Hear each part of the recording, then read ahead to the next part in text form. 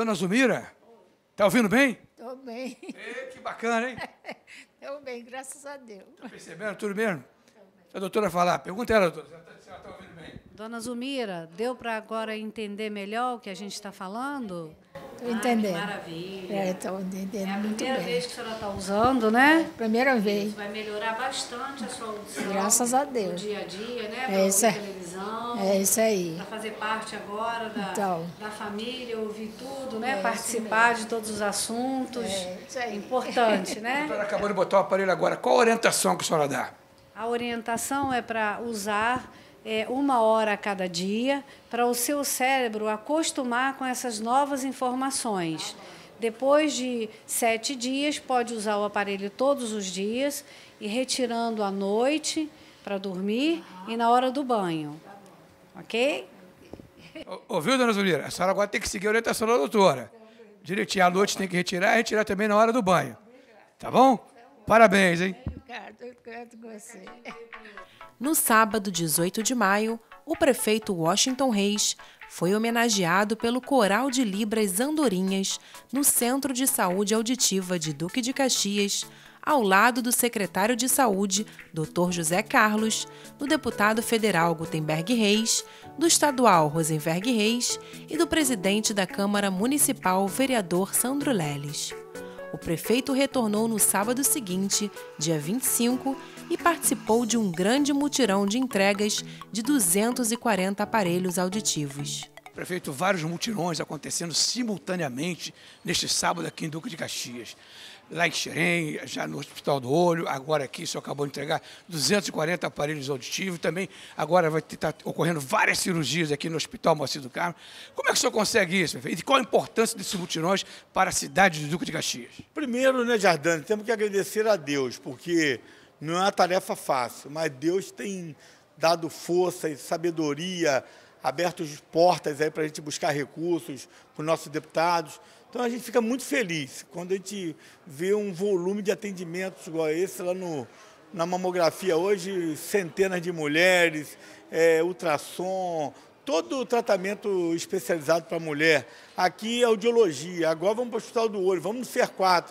Antes vou passar aqui, no, é tudo perto, aqui no Centro Cirúrgico do Hospital Marcelo Carmo, onde vão fazer mais de 40 cirurgias hoje, hérnia, vesículas, enfim, todas na área de eletivas. E esse ano vamos entregar à população a maternidade mais moderna do mundo, com equipamento de última geração, e vamos inaugurar o Hospital do Câncer, aqui no Marcelo Carmo, um grande espaço que nós estamos fazendo, preparando, para só fa- fazer internação, cirurgia de câncer, quimioterapia, radioterapia, enfim, toda a infraestrutura no tratamento do câncer, que é uma doença que uma maldição na vida das pessoas. E nós estamos aqui para combatê-la com muito afinco, com muita responsabilidade, para curar o nosso povo em nome de Jesus. Prefeito Caxias está se tornando a cidade da saúde, devido ao, ao- ao empenho de sua participação. Agora, com que recurso, prefeito? Como é que o senhor está conseguindo realizar tantas obras em, todos, em todas as áreas, como disse aqui o, o deputado Gutenberg, em todas as áreas nós temos, o senhor tem trabalho, na saúde, educação, no saneamento básico. Com que recurso, prefeito? Como é que o senhor consegue esse milagre, prefeito? primeiro, Papai do Céu, né? E segundo, a nossa relação política que nós construímos no longo da nossa trajetória. São quase 30 anos de vida pública, com muitos amigos, muita gente sempre ajudando.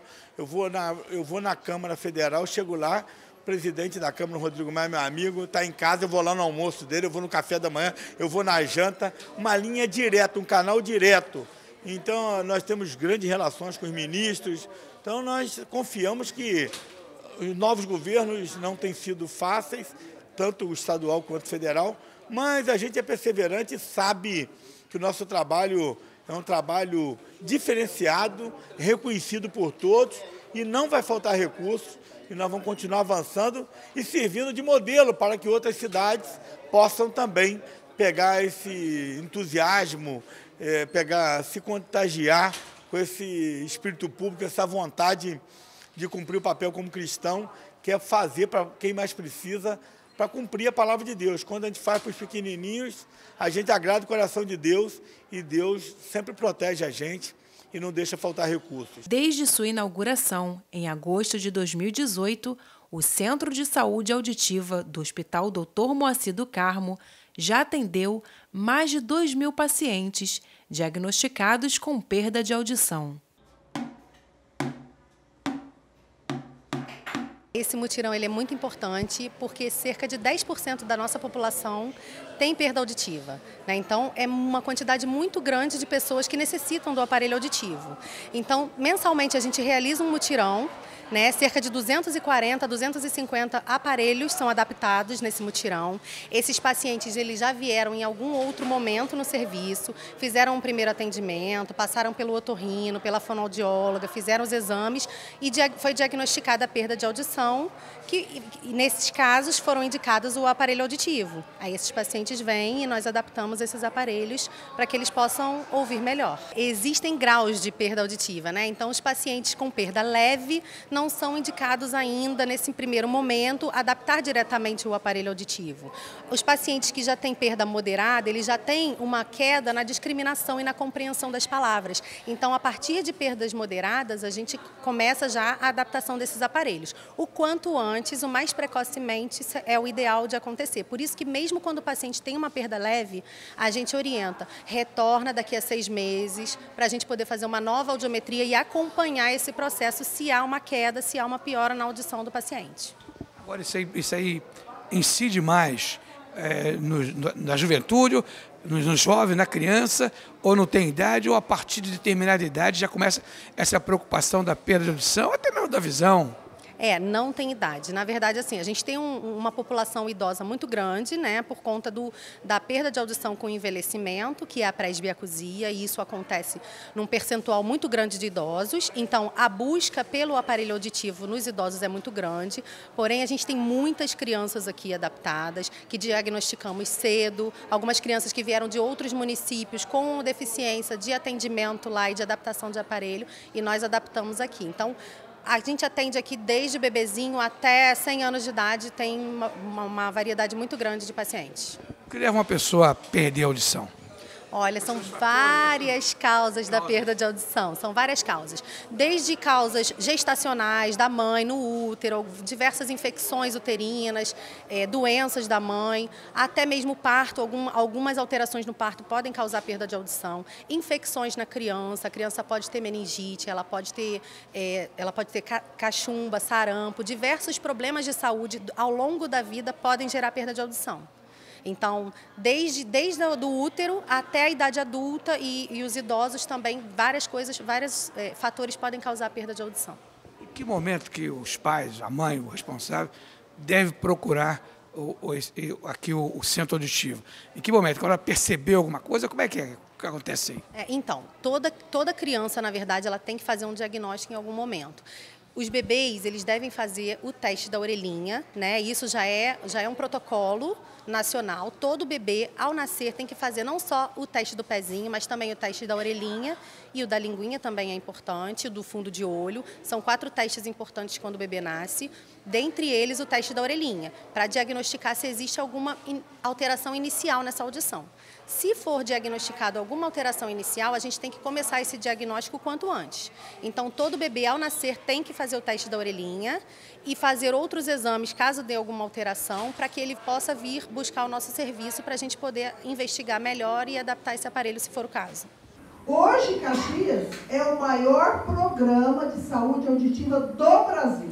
Somos nós. A importância da terapia fonoaudiológica para pessoas com deficiência auditiva é fundamental, porque nós somos o produto final de todo esse aparato né, de ampla complexidade do hospital. O Hospital Moacir do Carmo, atualmente, aqui em Caxias, ele é referência para o Estado porque ele recebe as pessoas, essas pessoas são triadas pelo serviço social, passam pelos médicos otorrinos, vão fazer avaliação audiológica e, uma vez detectando a necessidade de usar prótese, elas recebem essa prótese também. E vai além. Além de receber a prótese, essas pessoas não, não podem apenas receber o aparelho e irem para casa, porque a prótese ela vai cumprir o papel dela, que é amplificar o som. Né? Ela funciona como um grande amplificador. Só que ela não vai amplificar só o som da voz, ela vai amplificar o som do ambiente, inclusive ruídos. Então aquela pessoa fica exposta a uma demanda é, auditiva, sonora, gigante. O som chega todo amplificado. Então, é na terapia que a gente vai fazer a adaptação desse aparelho. A gente vai mostrar para a criança, para o adolescente ou para o adulto que existe som e existe silêncio. Existe a duração do som. O som pode ser longo ou ele pode ser breve, curto. E existe também a intensidade, que seria a altura do som, o volume. Ele pode ser alto ou ele pode ser baixo. Depois que a gente trabalha essas questões e com essas ferramentas, aí a criança está apta a receber os fonemas da língua portuguesa. E aí nós vamos lançar todos os fonemas para oralizar essa pessoa. Então não existe aquela história de que a criança que tem deficiência auditiva não pode falar. Ela pode falar, ela tem todo o aparelho fonatório ok e ela não fala porque às vezes não tem uma estrutura. E aqui no Moacir do Carmo a gente está tendo essa estrutura. Então está sendo muito bom para a gente trabalhar, porque os equipamentos são muito bons, o acolhimento é muito bom e nós vemos do início, desde o diagnóstico até o produto final, que é a terapia. Isso melhora muito a qualidade de vida dessas pessoas.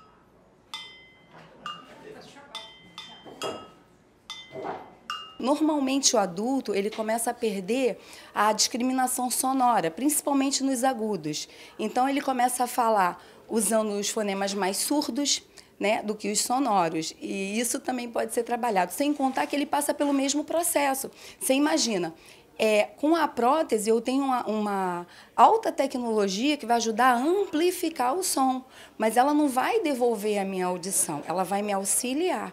Então, você imagina, o adulto coloca o aparelho, ele ouvia, e de repente ele vai ouvir todos os sons de uma vez só. Ele precisa entender, na verdade, ele precisa aprender a ouvir com o aparelho.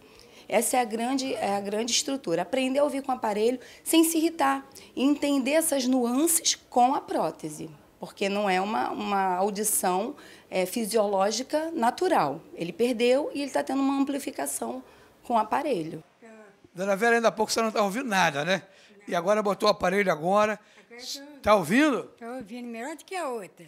A senhora está sendo bem tratada aqui? Está bem tratada, obrigado. Tá? Eu queria agradecer esse trabalho maravilhoso, esse trabalho que esse homem faz aqui em Caxias, que eu fiquei deslumbrado pela primeira vez que eu vim aqui nesse lugar, em Caxias, para fazer esse aparelho.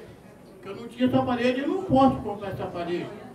Mas eu fiquei satisfeito do tratamento desse povo, dessa mulher maravilhosa, desse povo maravilhoso que está aqui, que me atenderam.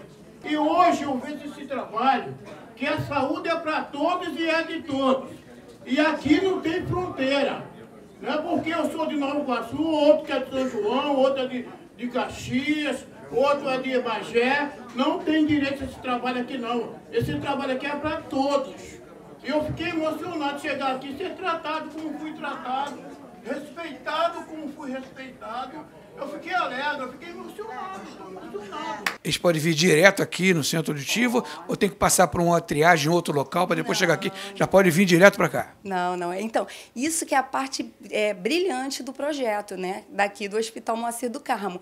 A gente está vendo acontecer da triagem feita aqui até o produto final. Então, a pessoa vem, é, Estou desconfiada, meu filho está me perguntando toda hora, ah, eu chamo, ele não me responde. Ou então, eu tenho um vozinho, um paizinho que tá, não está escutando direito. Eu posso trazer ele para cá para o hospital, ele vai ser recebido pelo serviço social, vai fazer uma ficha, e aí sim ele vai passar pelo otorrino, vai passar pela avaliação audiológica e, e vai ser detectada ou não a necessidade de uma prótese. Então, quem tiver com dificuldade auditiva pode vir para cá, que vai ser acolhido, vai ser recebido.